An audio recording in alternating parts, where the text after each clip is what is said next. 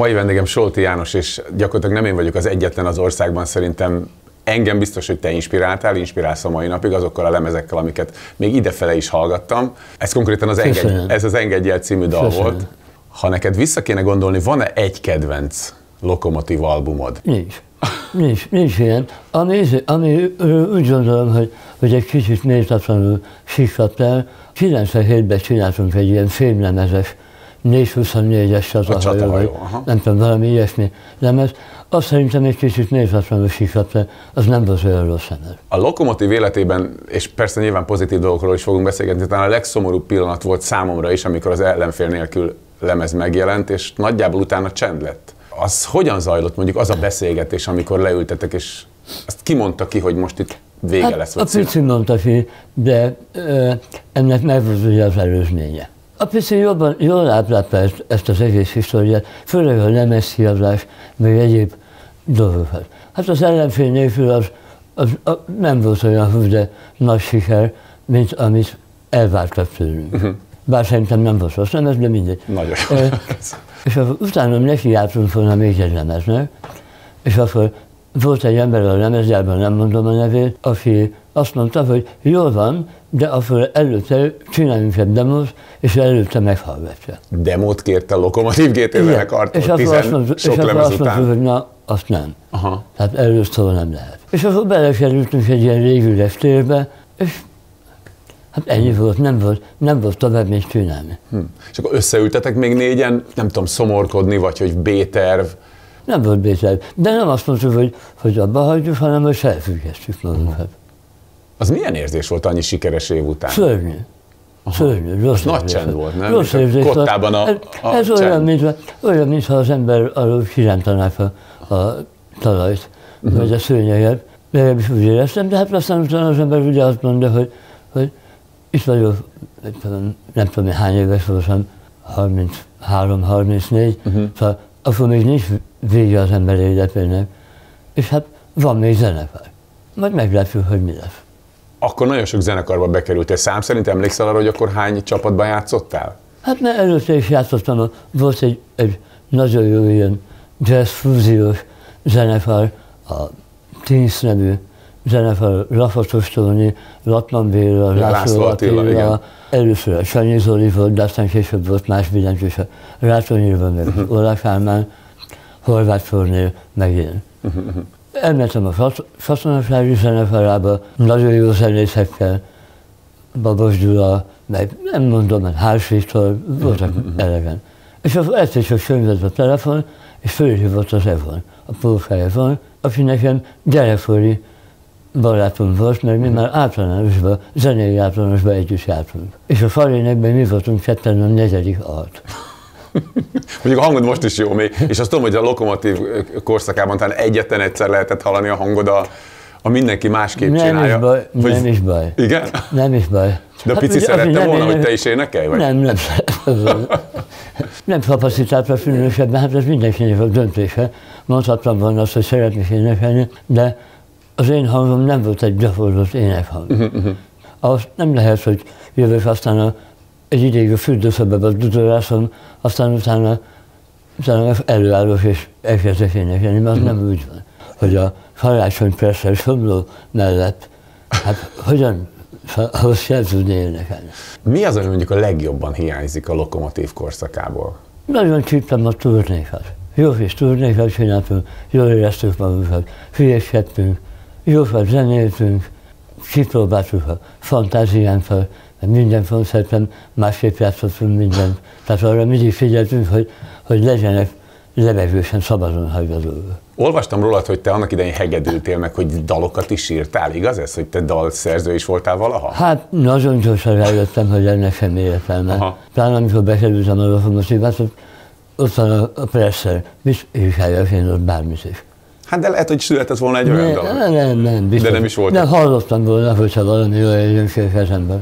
Próbálkozni próbálkoztam, egyszer elkezdtem írni magamnak egy lemezt. Aztán abba hagytam, de nagyon gyorsan. Akkor hány éves voltál, vagy ez milyen hangulatú Ez már ilyen, voltak? ilyen 30 valamennyi. Mhm. Rájöttem, hogy ez nem nekem való. Pláne mondjuk a lokomotívban olyan szerzők mellett, mint a, a Presser, mit írkáljak, minek? Elkezdtetek mások lemezein is dolgozni, gyakorlatilag az egész lokomotív társaság és tagság. Kik voltak azok, akikkel úgy érzed, hogy, hogy nagyon-nagyon elősegítette a munkáját? Tudom, hogy még Komár Laci lemezen is doboltál rock and roll, tehát nagyon sokfajta műfajban játszottál. Igyekeztem minél több lemezen játszani, és minél több, több műfajt uh, kipróbálni, azért, mert, mert én dolgozni akartam, én dobolni akartam, zenélni akartam, és azt akartam, hogy lemezeken játszom, stúdióba menjek, ide-oda, oda.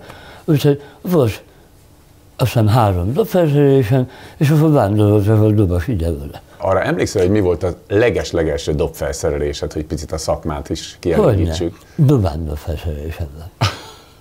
Dubán Dezső bácsi, az apja, vagy Igen, a, még, Dezső? a, még a papa. Aha. Persze, még a papája volt. Mikor találkoztál először ezek szerint Dubán családdal, a Dezsővel vagy az apjával? 16 éves lehettem. Uh-huh. Bementünk a, a szüleimmel, nevelőpapámmal és a mamámmal a Dubán műhelybe osztottak fölúton, megrendeltük az ott uh-huh. És akkor emlékszem, a Dezső mesélte, hogy később a papája mondta, hogy na látod fiam, ezek lesznek a jó vevők, mert ezek mindig vissza fognak jönni. És, és én azóta is mindig visszamegyek.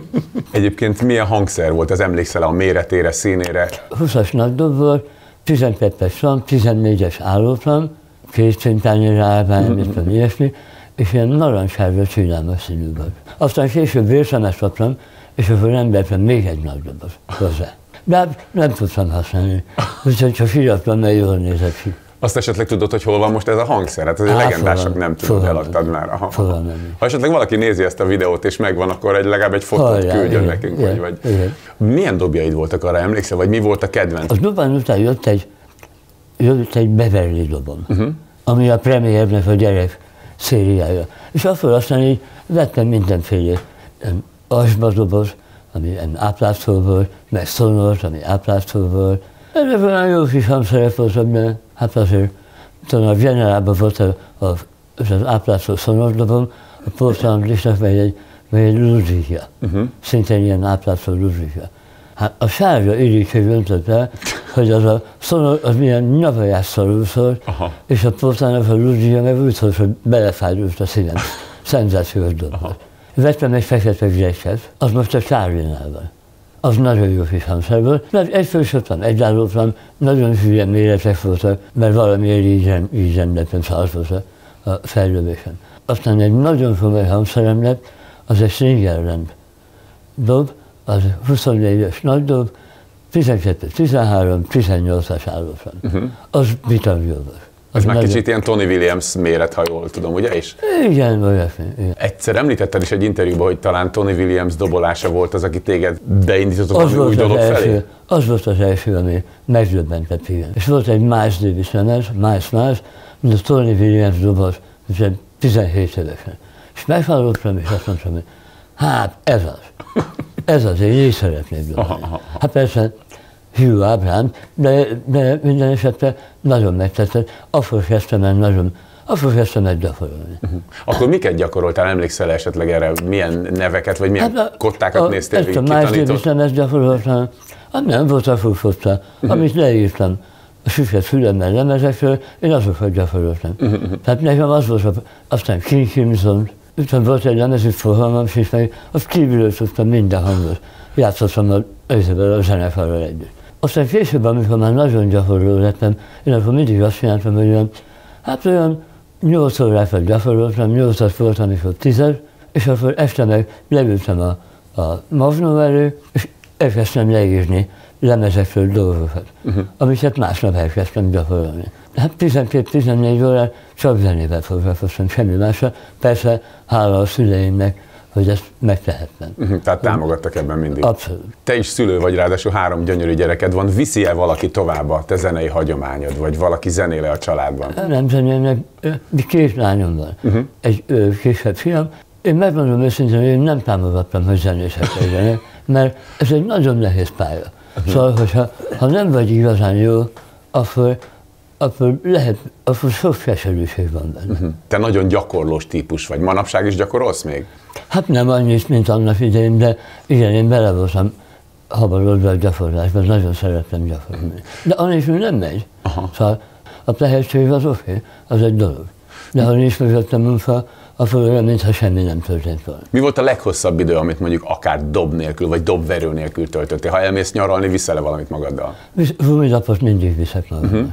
Technikai dolgok, uh-huh. tehát hogy a kezem ne rozsdásodjon, uh-huh. ennyi az egész uh-huh. ilyesmiket. Tudom, hogy 1977-től te több mint tíz éven keresztül minden évben megkaptad az évdobosát a szakmától, a közönségtől.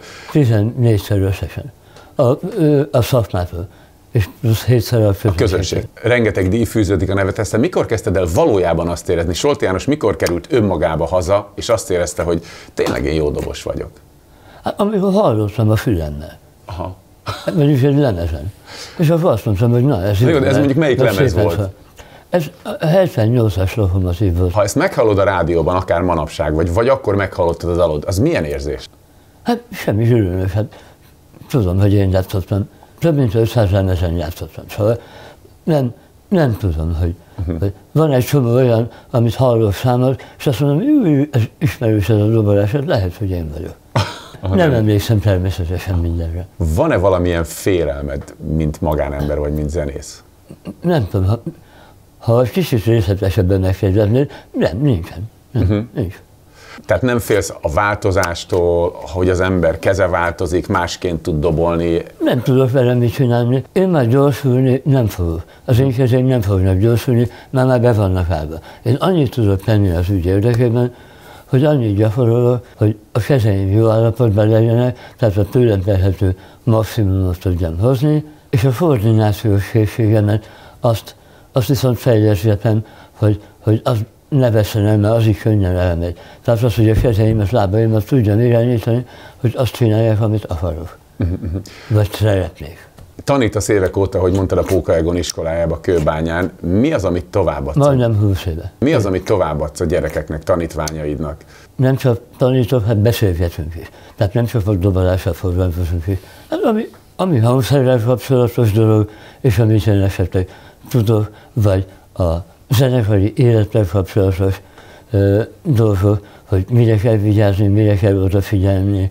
És hát maga a, a, a dobolás, hogy a hangszernek a belső arányai milyenek legyenek, mert az még műfajonként is változik hogy egy, mondjuk egy swing egészen másfajta arányok vannak, meg másfajta dobhangolás kell, mint mondjuk egy rockzenébe. Uh-huh. Vagy mint egy, hát heavy metal, bár én ahhoz nem értek igazából, de azt hallani hallottam, szóval van elképzelésem, hogy milyen kell, hogy legyen. Ha tippeket kéne adni egy dobosnak, akkor mi, mi lenne az a néhány jó tanács, amivel útjára indítanád?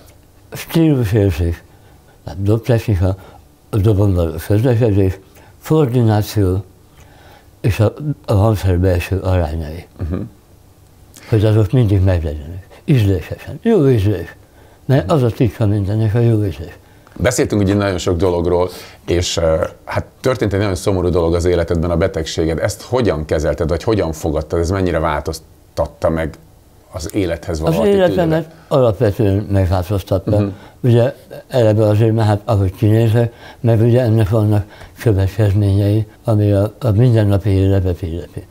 Egy dolog nagyon sokat segített abból, hogy, hogy szépen nyugodtan kilábaljak ebből, és az a zene volt. Uh-huh elkezdtem újra nagyon sokat gyakorolni, hát már amikor volt annyi erőm, hogy tudja. Gyakorol. Elkezdtem újra nagyon sokat gyakorolni, és újra felszídni magamat, hogy, hogy, hogy jó dobos legyek, és ne, ne önmagam árnyéka.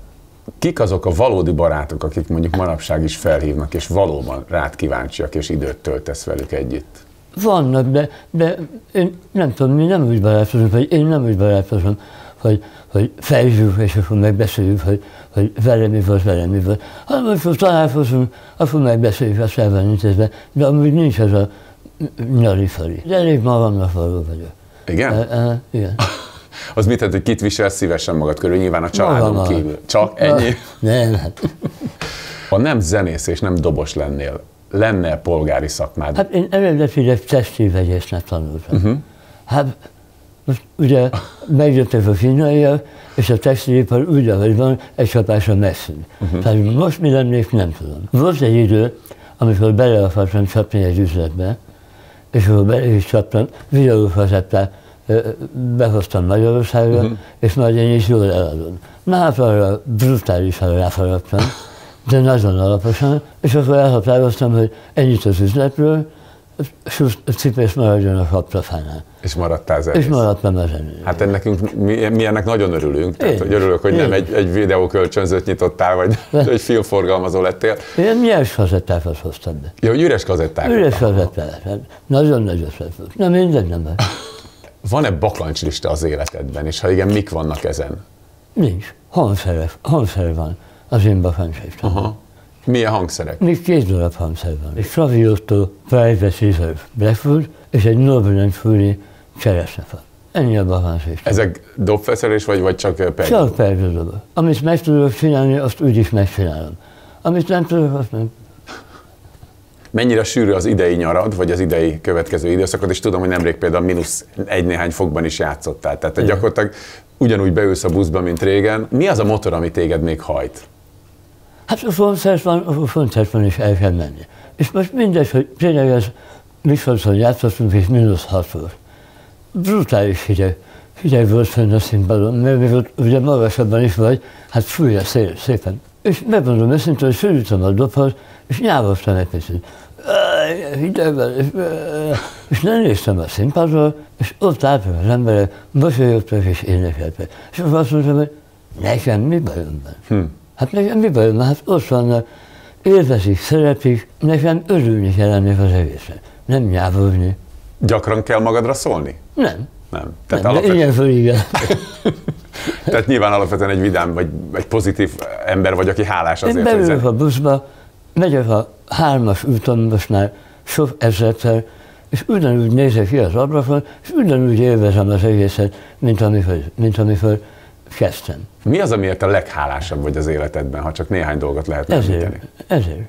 Például. Most a családot nem mondom, tehát magánéletet nem akarok belekevni, ezért hálás vagyok. Uh-huh. Ezért hálás vagyok, hogy azt csinálhatom, amit szeretek, és abban élek, amit szeretek. Mi meg abból élünk, amit te csinálsz, és hogy ahogy az elején is kezdtem, rengeteg zenészt inspiráltál, meg inspirálsz is. Hála jó Isten, igen, nagyon örülök neki, hogy sikerült. Na. Köszönöm, úgy tűnik, hogy sikerült. Köszönöm az interjút. Én is köszönöm szépen.